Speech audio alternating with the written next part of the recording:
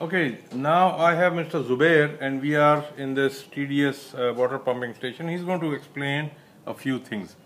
Go ahead. Use uh, for The- solar. The motors are very big. There's 75 kilowatt motor Okay. uh, with high pressure pump, and then other motors we have uh, which are uh, feed water pump. Okay. Uh, They are on the other side. Okay. They are 11 kilowatt each motor, and then backwash pump 11 kilowatt each motor.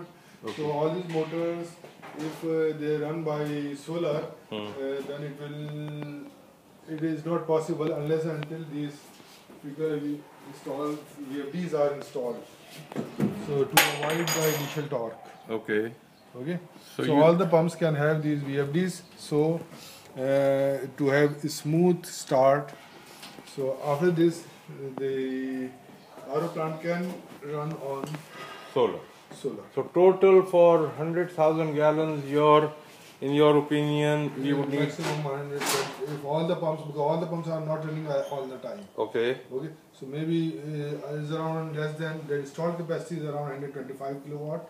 Okay. Uh, but uh, uh, the running load maybe is uh, 100 kilowatt or so around 100 kilowatt Okay, so 100 kilowatt for 100,000 gallons a day, a day, right?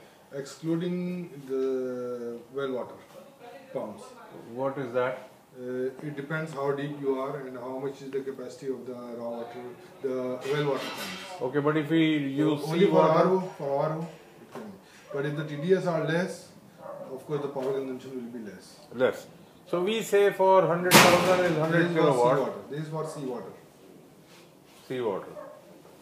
Okay, and you have designed this whole thing and uh, you are getting this for Pakistan.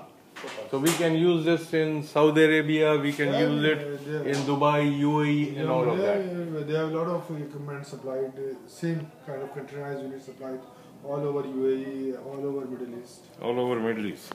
So we can just get the complete equipment on pallets And it is fully automated. and fully automated. So this is what it is, gentlemen, for growing Jatropha. We have these uh, RO plants, and we can do it in Balochistan. We can do it all over the world in Saudi, in UAE, everywhere.